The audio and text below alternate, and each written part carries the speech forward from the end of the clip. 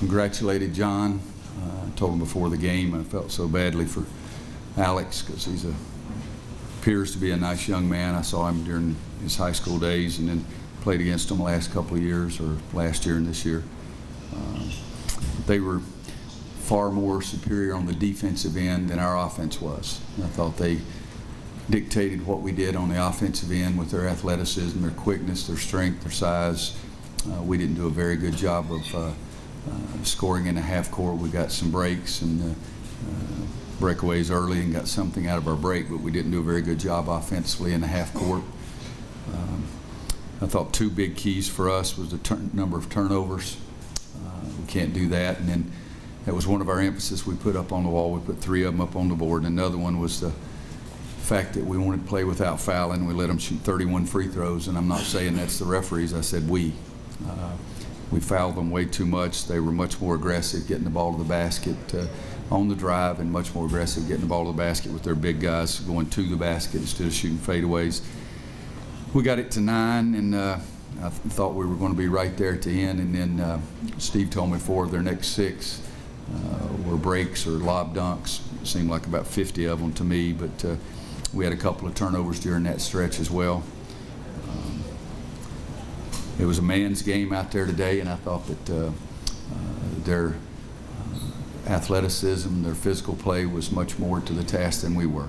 And uh, again, I'm not, that's not a negative in any way towards Kentucky. I, we've got to do a better job of beating the guy to the spot. That's what they do. And uh, uh, it's, it's, a physical game, and uh, they just played better and coached better.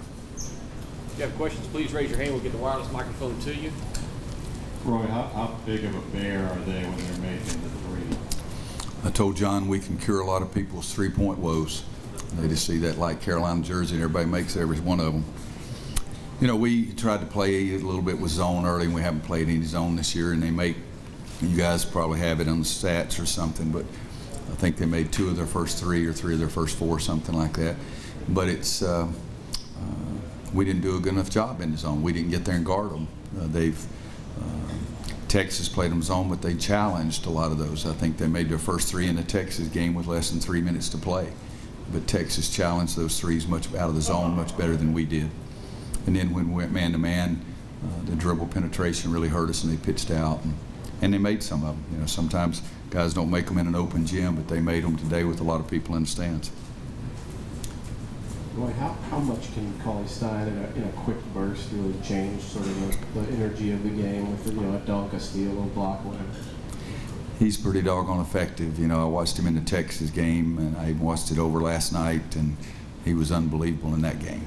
You know, it's hard to imagine he was a wide receiver in high school, uh, but uh, he. Uh, as you said, he affects the game in every way. He blocks shots, he makes steals, he gets follow dunks, he gets dunks when the guards penetrate. They throw it up around the rim, and he goes and gets it. Uh, but he is a complete player, and and uh, you look at it, he affected the game drastically and only took nine shots. I think in the Texas game, it was probably about the same thing.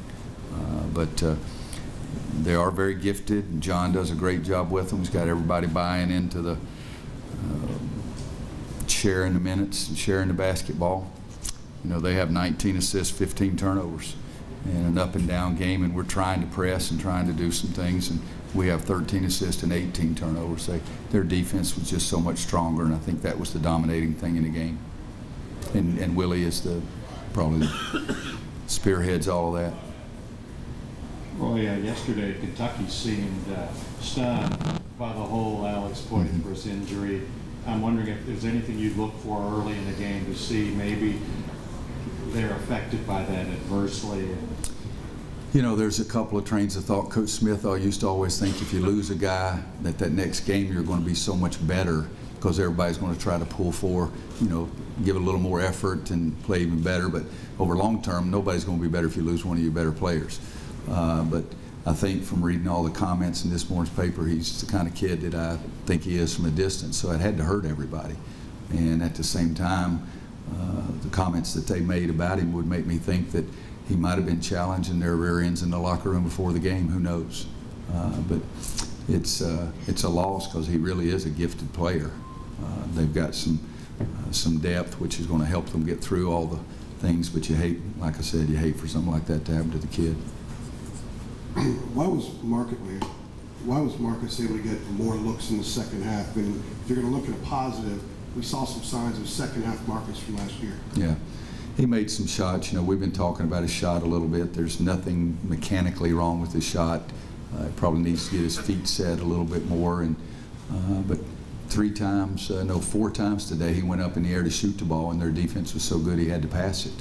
Uh, but he did get a couple of looks, and he made a couple of tough ones. Uh, we need him to shoot the ball like that, but we need some other guys to step up and make shots also. I mean, we shoot 56% in the first half, no, excuse me, 54% in the first half, and then you're not going to beat Kentucky Kentucky when they're a real good team shooting 38% in the second half. Well, does, does a game like this kind of expose any physical limitations you guys have in terms of size and strength? Well, it, the team we're playing is pretty doggone physically imposing, but whoever they play. You know, I said in the press conference yesterday, somebody said that Portland Trailblazers is the only team in America that was taller.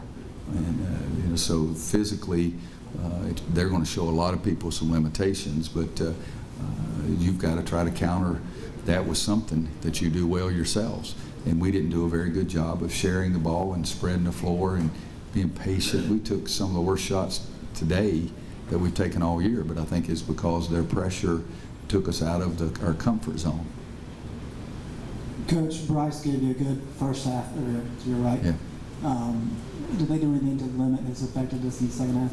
Well, it gave us some good looks early because it was on the break and a couple out of bounds plays and things like that. In the second half, I think he made one field goal, I think is all. But uh, their big guys are good. Um, they had 12 steals and five block shots, and a lot of that was their big guys. I saw Willie diving on the floor. I saw Dakari di- diving on the floor. Um, Brice did hurt him in the first half, but most of it was in the open court. Roy, uh, you, you've had some teams with a lot of good players on them, and they've you know, managed to handle the minutes and everything. What's the key to having a lot of depth and having guys accept roles like that? You know, this, it may be even more of a challenge for John than anything that I've gone through. I've always said I could get nine guys enough playing time, eight easily, and nine guys enough playing time to keep them happy. You know, and, and John was trying to get 10, and, uh, you know, I don't know what he's going to do because that's, that's the reason they pay him all that money to make those big decisions like that. But uh, uh, you have to have special kids, I'd say, is the first thing. That they have to be concerned about the name on the front of the jersey. They have to be willing to, to give in. Um, I've got wonderful kids in my locker room, and we've got to be concerned about the name on the front of the jersey a little more. But if I had to pick one thing, I would, of course, would say the size or athleticism. I guess that's two things. But the next thing that's most impressive about uh, John's club to me is uh, how unselfish they appear to be. That's a pretty doggone good trait. And when you add the size and athleticism, and then add their willingness to work really hard defensively, uh, now you're painting a very uh, complete picture.